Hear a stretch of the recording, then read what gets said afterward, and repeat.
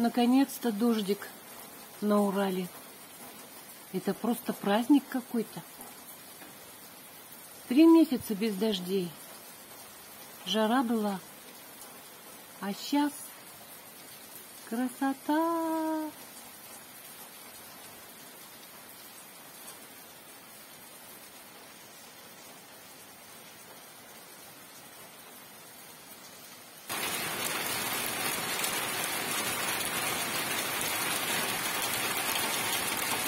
Сегодня спать будем крепко. По крыше стучит. Релакс.